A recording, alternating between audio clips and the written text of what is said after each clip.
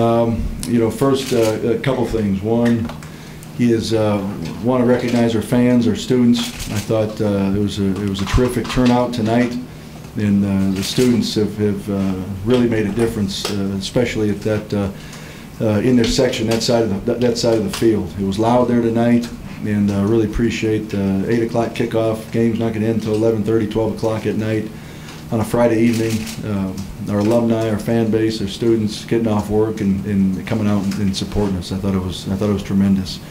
Um, Second, I'd like to, you know, just mention Matt Rhule in, in the Temple football program. Uh, He's a first-class person, um, doing a great job with that program, and it's a first-class uh, operation from uh, uh, everything they do. So that's, uh, you know, they uh, travel extremely well and uh, is a program, and- and I just want to mention and recognize uh, him in, in, in his program. He said some very kind words in his press conference last week about uh, Derek Matthews and uh, what he meant uh, to our conference, to college football, and, and I thought that uh, spoke volumes of the type of, the type of person Coach Rhule is and, and the type of program he's running at Temple.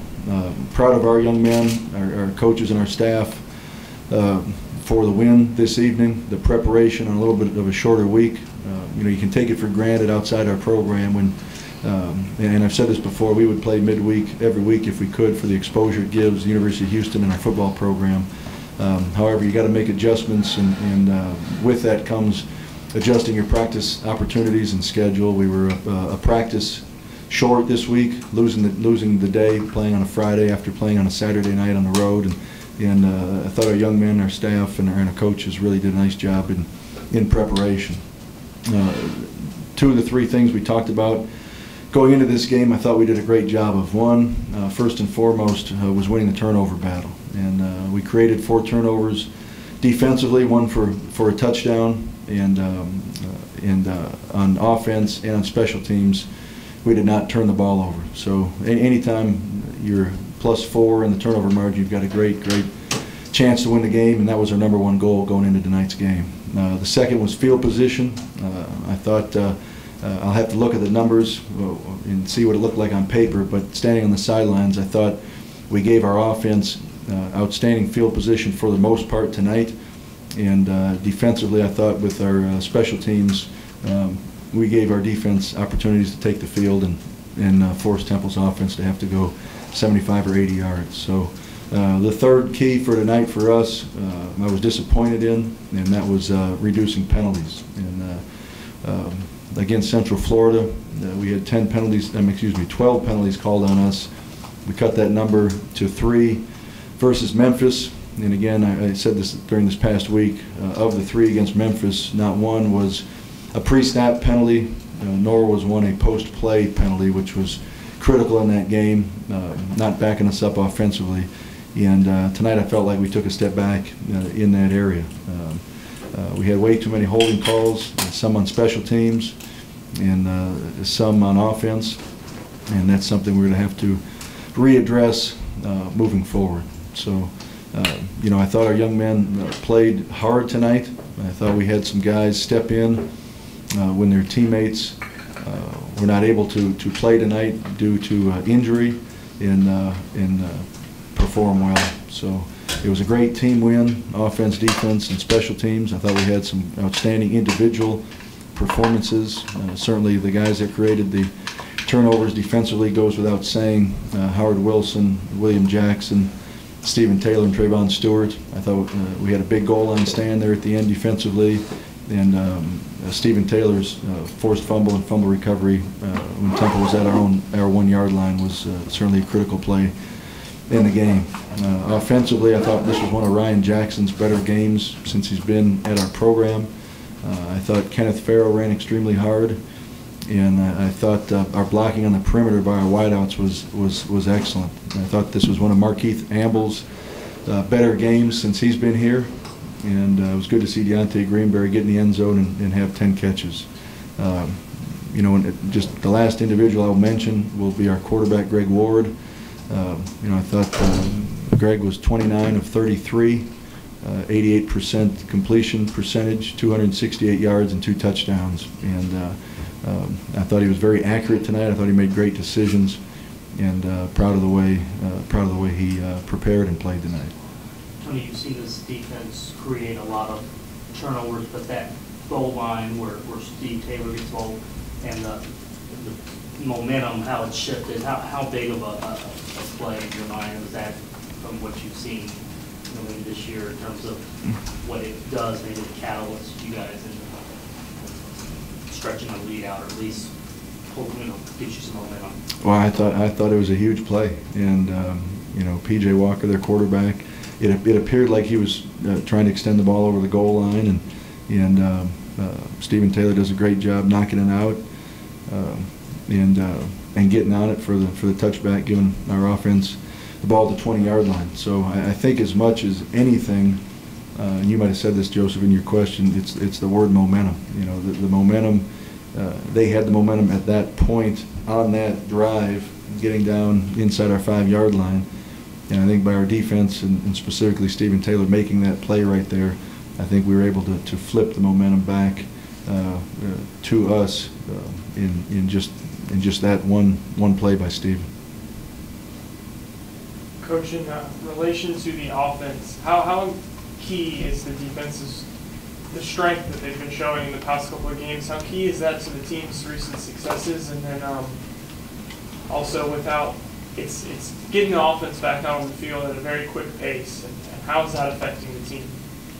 Well, I think um, I think a couple things, and, and I'm going to start here. I think one, the way our defense is playing, it's allowing me to uh, be a little bit. Uh, more aggressive, if you will, offensively with going for it on fourth down in maybe an area where we might uh, might have punted uh, in years past to maybe pin them back and make them go 90 yards rather than taking a, a chance on a fourth down uh, at the 35-yard line with the with the risk of not converting and giving the opponent better better field position. Uh, you know, I don't think um, I don't think we're doing a very good job right now offensively. Um, taking the field after we're creating turnovers defensively. I think, uh, you know, going back to what Joseph just asked, when, when we get that type of momentum and we create a turnover, uh, you'd like to run out there. Typically in, in football, uh, within programs, it's called sudden change. When you have a sudden change, you'd like to run out there and seize the momentum, go down the field and, and, uh, and get, and get a touchdown, at least get points on the board. And I think um, over the course of the season, uh, I think we did that at times tonight, but we got to get more consistent uh, offensively, taking advantage of the times uh, we we get the the turnovers on defense. But uh, again, momentum's been huge. Uh, you know, one thing I, I think we're, we've not been known for here is time of possession, and uh, uh, I think we were. 42 and a half minutes. we had the ball tonight for 42 and a half minutes. They had the ball tonight for 17 and a half minutes. And uh, I, I, don't know last time, uh, my seven years here in our program overall, I don't know last time I've seen us have the ball for 42 and a half minutes. But um, part of that, a lot of that had to do with our defense taking the football away. And then our offense, I thought, did a nice job moving the chains, which is something we've talked about as much uh, of late as, as any time. Just trying to get first down, move the chains, uh, not back ourselves up. And, uh, you know, I think our, our defense right now, somebody showed me a stat here in the last 20 games, we forced 66 turnovers. Uh, that's that's that's not bad. So, uh, you know, again, I think that uh, that really has been certainly helpful, and it goes back to what I said. I don't know if I've answered even your question, but it goes back to what I said. Uh, the first thing is turnover margin, and offensively, zero turnovers uh, was huge. Was as big as uh, our defense getting four. Tony, you've had two games now with Greg as your quarterback uh, can you kind of assess maybe what, what you've seen from game one to two and, you know, his comfort level and maybe how that's allowing you to either, I don't want to say tailor the offense, or allowing him to, you know, have a little bit more, input in the offense or in, terms of how he's running? Well, I'm, I'm gonna I'm gonna say this, and again, I mentioned this this past week. The, the more uh, I'm actually going to back up a, a, half step again. You know, again, just reminding everybody, last spring Greg was a full-time receiver. This summer, Greg was a full-time receiver. Uh, we got to August, he joined the quarterback meetings, but he was still playing wide out and playing his, a limited role at quarterback.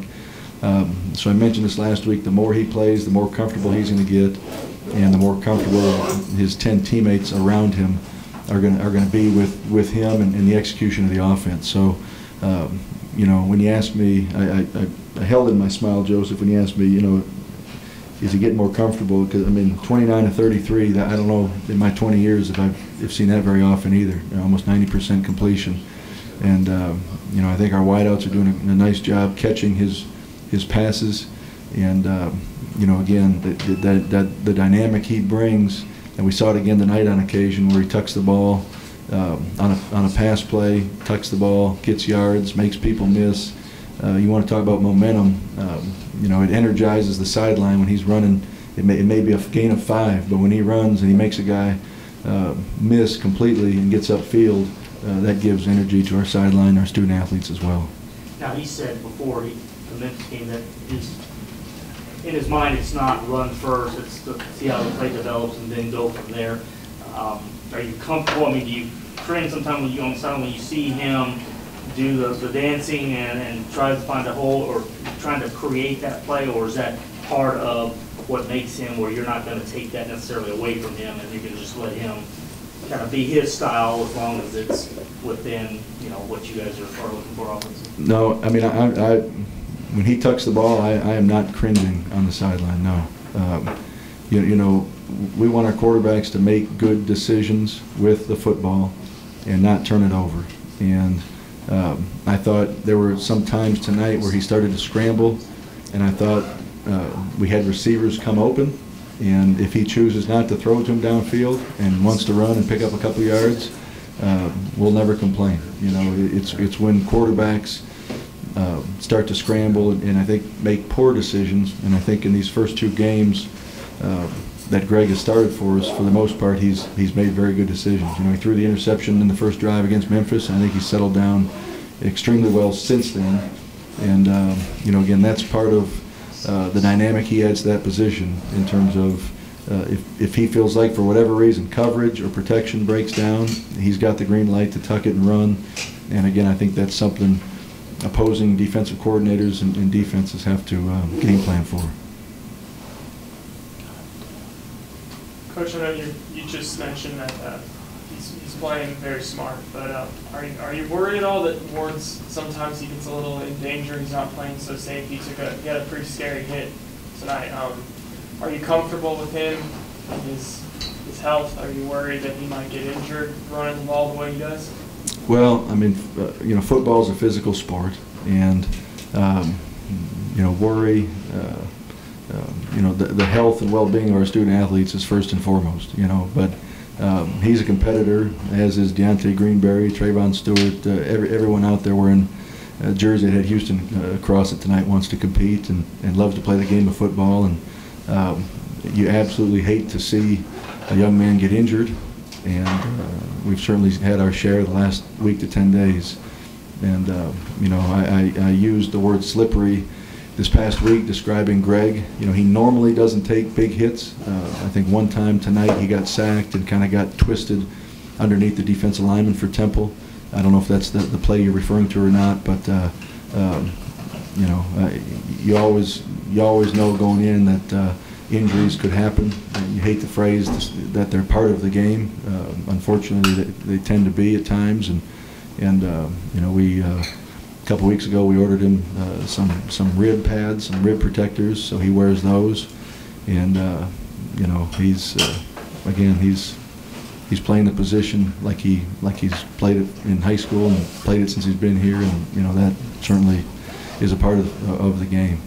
The words you used before, an opportunity uh, for some of these guys come and, you know, you lose players and people step up. Marquis, um, you notice in terms of, I mean, with Daniel being out, he's one of those guys that has stepped into that role, and it looks like at least the last two games, he's come up with some pretty big catches for you, a couple of really nice catches tonight, but he fit that mold as, as far as someone sees that opportunity. I think he does. I think he does, and I think that's a good way to look at uh, that word and how I've used it the last two weeks. You know, Markeith Ambles right now is playing his best football since he's been here in our program, and um, you know Wayne Beadle's a young man who's a senior walk-on that that uh, starts now in place of, of Daniel Spencer and is really given great effort, blocking extremely well, made some big big catches tonight, big third down catches and conversions tonight.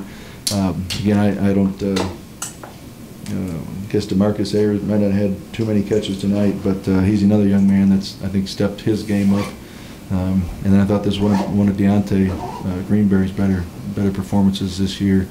Um, In terms of his blocking, his catching the ball, the touchdown catch was outstanding. Even, even the short screens we threw him, getting the ability to get upfield. So um, I, I agree with you. Going back to, to your question about Markeith, I think he's, he's doing a really, really uh, good job uh, right now. And again, we're going to have to have that moving forward on both sides of the ball. You know, William Jackson was called for a targeting uh, penalty in the second half of this game, so by rule, he'll, he'll uh, have to sit out the first half of our next, uh, next game against South Florida. So uh, Khalil Williams uh, was wearing jersey number two out there tonight, and uh, we'll look at the film, but he was all over the field and was playing on some special teams. And, um, and Trevon Stewart uh, went out with an injury, and, and Khalil was out there full time in the second half. So we'll have to continue to have some young men step up. Uh, Landon Roberts is another one.